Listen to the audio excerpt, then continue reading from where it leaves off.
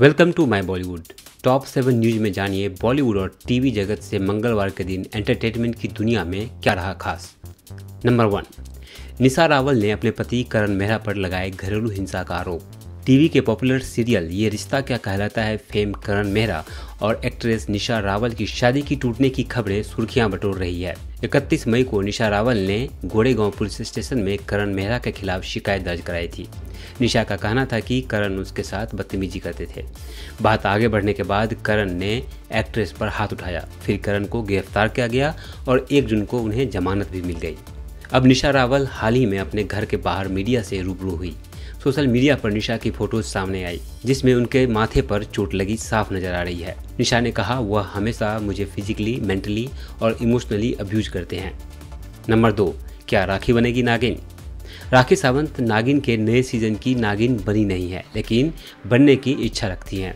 अपने नागिन वाले अवतार पर राखी ने कहा, एकता कपूर को मुझे कास्ट करना चाहिए, नागिन के नए सीज़न में। मुझे लगता है, मैं उस रोल के लिए परफेक्ट हूँ।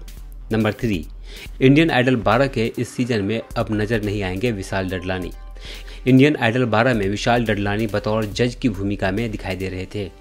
लेकिन शो की शूटिंग को जब कुछ दिनों के लिए दमन शिफ्ट हुई तो विशाल ने वहाँ जाने से साफ़ इनकार कर दिया।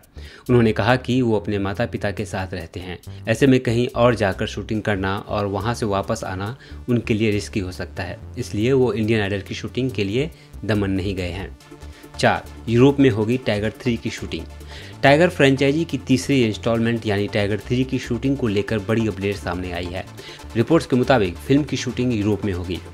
सलमान और कटरीना की फ़िल्म को प्रोड्यूसर आदित्य चोपड़ा अभी तक की सबसे बड़ी फ़िल्म बनाना चाहते हैं। रिपोर्ट्स के मुताबिक टाइगर थ्री यशराज फिल्म्स की अभी तक की सबसे महँगी फ़िल्म होगी। आदित्य चोपड़ा फ़िल्म के स्क्रिप्ट पर भी बहुत ज़्यादा ध्यान दे रहे हैं। इसी कारण खुद आदित्य की देखरेख में ही स्क्रिप्ट तैयार हो रही है। पाँच बॉयफ्रेंड संग रोमांटिक हुई आमिर खान की बेटी। आमिर खान की बेटी आयरा खान इन दिनों अपने बॉयफ्रेंड नुपुर सीखरे के साथ खुलकर प्यार का इजहार कर रही है। आयरा ने सोशल मीडिया पर नुपुर के साथ एक वीडियो शेयर किया है।